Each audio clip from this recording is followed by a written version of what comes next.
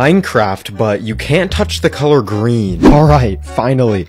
I didn't spawn on grass. My only goal is to find diamonds. Well, the problem is there's no trees, and looks like it's gonna be hard to get to some. Okay, here we go. okay, we're good. Uh, oh no. I guess I can just place dirt. Okay, I need to go quick before this dirt can grow. Tree acquired.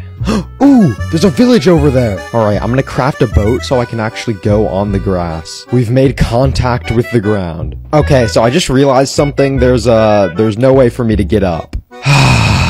Hopefully if I shift out, it won't put me on the grass. Okay, we're good. Lucky for me, I'm a parkour pro. Okay, I need to chill. I have two blocks left. Alright, I think I can boat the rest of the way. I've made it to the village, I just have to be really careful. Luckily, we can get some cobblestone from these houses. All I need is diamonds, so I'll just go into this cave.